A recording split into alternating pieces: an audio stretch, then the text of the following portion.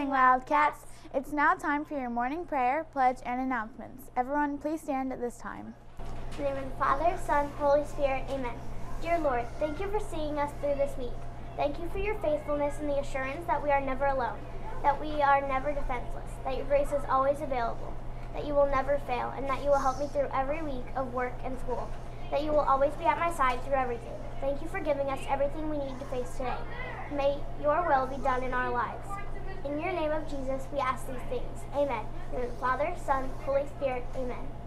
I pledge allegiance to the flag of the United States of America and to the republic for which it stands, one nation, under God, indivisible, with liberty and justice for all. Now on to your weather with summer. Good morning, Wildcats. Today will be cloudy with a high of 59 and a low of 45. Now for your weatherman. Bye.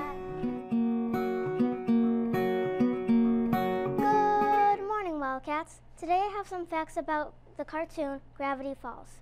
Did you know Soos is based on Jesus Cambrot, a college friend of the series creator Alex Hirsch?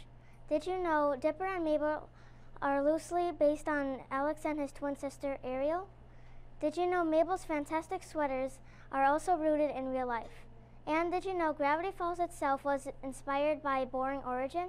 Well, that's it from me, Wildcats. Bye! Hey Wildcats! In the NBA news, the Cavaliers will play the Warriors and the Celtics will play the Pacers. In MLB news, the Cubs will play the Brewers and the White Sox will play the Mariners. That's all for today, Wildcats. Bye!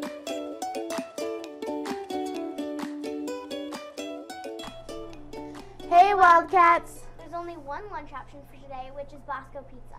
Today we have two birthdays to celebrate. Happy birthday to Nicholas Muma and Sam Vickers. On Saturday we have four birthdays. Happy birthday to Alex Ebersberger, Dane Lack, James Mulally, and Jo- Joshua Schultz. On Sunday we only have one birthday. Happy birthday to Mika Santos. Now on to your fun fact. Did you know that Friday increases the happiness all around the world by 11%? Now lastly for the meme of the day. Wildcats.